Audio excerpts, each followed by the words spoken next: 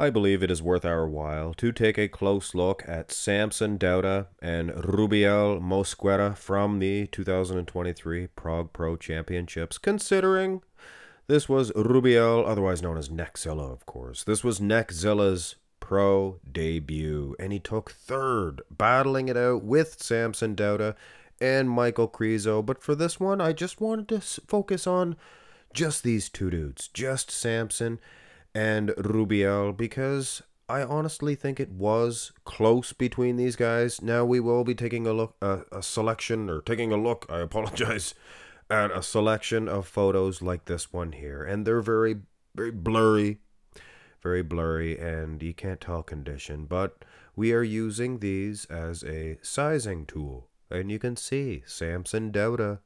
He's huge, his silhouette, things of that nature. He's gonna get an edge on Rubiel Mosquera, and that is one thing you can tell from this shot. Taking nothing away from Rubiel, he, look, he looks awesome. Now here is back to the, the original shots. And condition, condition. Yes, Neckzilla, he is very vascular, things of that nature. And if you watch the video footage, his muscles, they have a lot of pop, a lot of wow. But Samson, very dry, and he's not as vascular as Rubiel, but I'm telling you, the guy's conditioned for sure. But what we see with this Neckzilla is next level size in the wheels. Upper body, Samson's tricep bicep combination, he's got better arms in my opinion. I might take criticism for that, but in this shot, I think Samson's got better arms. I don't think that's even an argument tricep bicep combination, forearms, things of that nature. Rubiel, he needs to open up a little bit more with the arms. I think he does have the meat. Just need, I mean, like I said, guys, pro debut. Get that through my head. Come on, come on. Actually, quite polished for a pro debut, to be honest. But it is what it is. Very close, guys, to Samson Dauda in the front double. Now, the front lat, I would argue and say this one's. I, I don't see anybody arguing with me, me, but I think this is a better shot for Rubiel than his front double. This is an incredible pose. Samson, same thing could be said about him. His silhouette, again, monstrous. He is huge, occupies a lot of space. But you look at the wheels, guys. Look at the calves, the, the quads. This is a monster. Not only that, but he has some substance there in the upper body nice chest for Samson, things of that nature, but individualize the lats themselves. Rubiel doing battle, Neckzilla. I think Samson's neck's a little bit bigger in this shot. You guys think? hard, hard to say, hard to say. Go to the side shot here, as I often say, turn to the side, and this is one of the side by side shots. Not a very good shot, not a very good picture to judge quality of the, the athletes. But sizing also might be screwed up on this one. I think uh, Samson's out angling. angler. You guys remember I called Chris Bumstead an angler? Anyway, anyway. I lose my head. Not very good of a, a pitcher is what I'm trying to sub sing. Here is the the better pitchers. And it is a awesome job here for Rubiel I mean, this side just made him famous instantly. But Samson, I don't think we should take all his thunder away. Look at this guy. Look at the far pack. Look at the close pack. Look at the abs, stature, and his legs are not weak. Not weak. Anybody's look small compared to Rubiel's. Rubiel, the balance is not as good as Samson's. But I'll be gosh darn if he's not mopping the floor. With all due respect to Samson, Sure, he'd say the same thing. He's losing in the lag department. Now, if you were up close, personal, you might even say Samson has thinner skin, things of that nature. But look at the cuts. Look at the cuts. Side tricep is as bad as the side uh, chest. Actually, it's probably worse. Probably worse, considering Samson, he's not even striking the pose. And there's a there's an old package right in front of his face on the TV screen behind there. This package. Anyway, anyway, anyway. All foolishness aside, this is the real comparison. Samson, hey, he's good. And a lot of people were basing their opinions on that last shot. I mean, Samson wasn't even posing, guys. He looks incredible. Yeah, I'm still gonna give this one to Rubio. I wish he hit this in his mandatory shot so we had a good, clean close up shot of this one.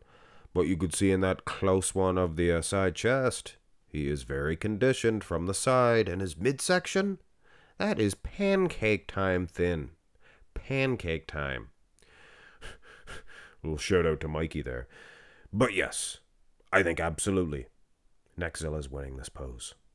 Turn to the both arms, Louis. You were a terrible son. No, I wasn't, Dad.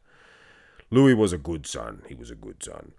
This one, yeah, yeah, see, I'm showing because uh, sizing, and there's a little bit of a controversy here. Have a little, take your peepers and have a look at the feet. These guys, I, I just scooched Rubiel over here. Michael Krizo was in between them, and Krizo was doing the same thing Samson was. Stepping the line. He's going way beyond the line. Rubiel's, you know, way back there on the line. So he should be much larger than in this comparison. And this is the, the sizing that I believe, if they were both on the line, this is how it would be. Samson He's conditioned, guys. He doesn't have those striated glutes. And Rubiel, he's getting there. He will. He will. He's almost there. He's almost there. But Samson, condition wise, hamstrings, hammies, baby please, whatever Louis Marco says, he is conditioned, guys. Very conditioned. More so than Rubiel. But Neckzilla is next level. Size and the legs, and I love those calves from these shots from the back. Unbelievable. This man is unbelievable. And the back itself, I don't know. I might still give it to Samson. He looks pretty good. But Rubiel, he's fighting him tooth and nail. Is that what they say? Here's the rear lat. Not a very good pose for our man Samson. I just don't think he's striking the lats themselves because in this comparison, Rubiel's almost catching him.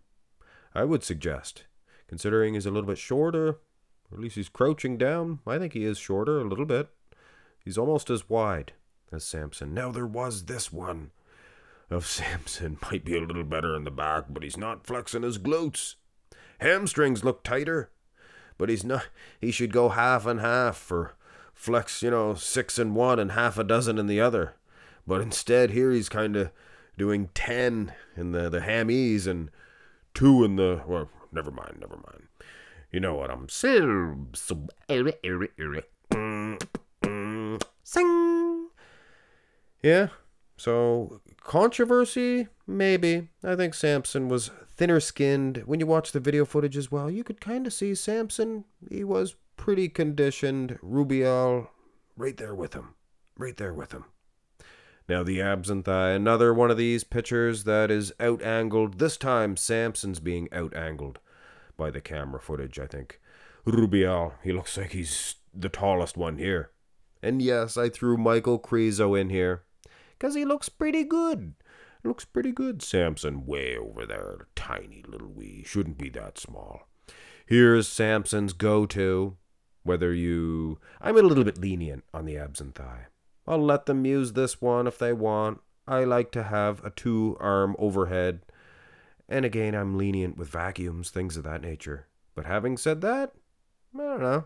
I think you'd have to be up there close to see. If Samson was much more conditioned, I can honestly see him winning most of these shots, even the abs and thigh. But I don't know. Rubiel, I mean, I'm judging by pictures, and that's what we do here at Marx Max Muscle. We're just fans, right? I think uh, Rubiel could defeat Samson ending it with the most muscular. And you can see that thin skin, that pop, that wow. That, yes, you can usually not see from pictures, but these were good ones. They didn't have a screen behind them. You can really see a lot of detail. And little more delts, especially next to Samson. Look at the delts on that guy. Cannonballs. Cannonballs. And okay, well, I guess Rubiel did not take too kindly to Samson and Krizo, might I add, stepping over the line. So he's going to finish off by stepping way over the line. Are you going to stop this guy with his great big rhinoceros legs? Look at this big monster. Huge, huge. What a monster. So do I believe. And by the way, Derek Lunsford was stepping way over the line on Samson at the Olympia. So Samson figures, you know, if they're going to do it, maybe I'll do it too. If they're going to do it and win shows. But anyway, guys, do I believe Samson Dauda was robbed? To be honest with you, Dan, I was surprised. Actually, I wasn't too surprised. Samson won this one, guys. There's a little tweaking for Rubiel, and I know a lot of people say about bodybuilders, he needs a little of this, a little of that. But usually that little of this and little of that is a big this and that. This really is just a little tiny this and that, and this guy's gonna be battling, battling. I apologize, battling it out with the likes of Samson Dauda and Derek Lunsford. Dare I say, Derek Lunsford could be in trouble with this guy, condition wise? Not just yet, but you do not know how far this guy could take it. Hit thumbs up, subscribe. Let me know who you want or who you think won in this comparison. Have a great one, guys.